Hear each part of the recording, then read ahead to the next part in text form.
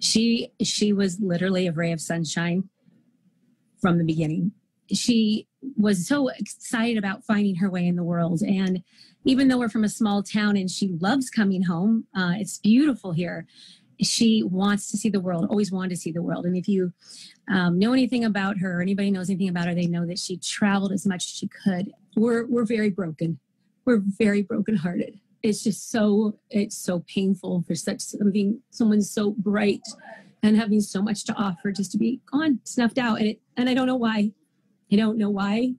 And the horrific nature of of her last moments must have been it's I can't even I can't even go there. I do. I do believe she was murdered. Yes. From what I've been able to gather, as well as a mother's gut. I learned very young as a mom to trust my gut. And uh, I don't, it's not let me down.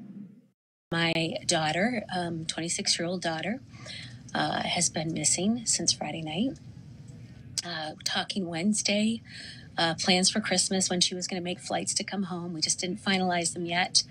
Uh, Thursday, missing each other. Happy Thanksgiving, missing each other. It was a busy day on her end and our end, and so it was just one of those in passing, you know, type yeah. of love you things.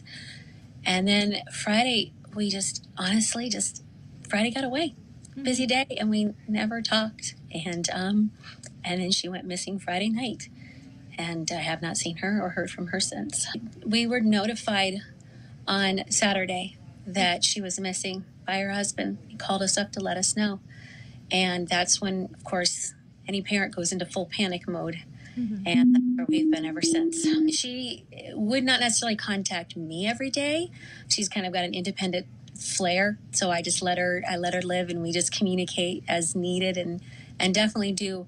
Um, but she has a close knit group of friends, and um, they've never known her to disappear, and I've never known her to not communicate when we reach out to her ever. She always has her phone with her, and she always responds.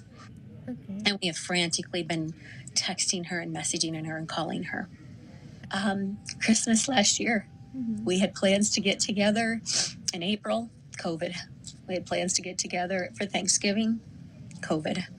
And so um, I haven't seen her since Christmas. She is, um, she's got long, uh, kind of dirty blonde hair.